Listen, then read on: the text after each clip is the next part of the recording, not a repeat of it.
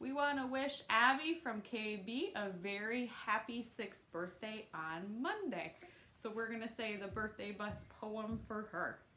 Aby's birthday is coming and she will be six. She'd like a new bike and some peppermint sticks. But if someone decided to give her a bus, she'd accept it at once without making a fuss. She'd tell all her friends come quickly inside. She'd take them all out for a wonderful ride.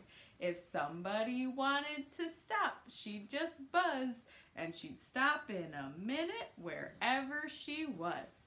And if somebody had somewhere special to go, she'd drive there at once.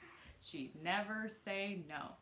The ride would be free, they would each have a seat, and every half hour she'd hand out a treat. She'd pull up to the bus stop, she'd put on the brakes, she'd pass around ice cream and soda and cake. Then when they were finished, she'd call out, Hi ho, hold on to your hats, everybody, let's go. But if anyone asked her to please let him drive, she'd say, Driving is dangerous for children of five. Aby's birthday is coming and she will be six.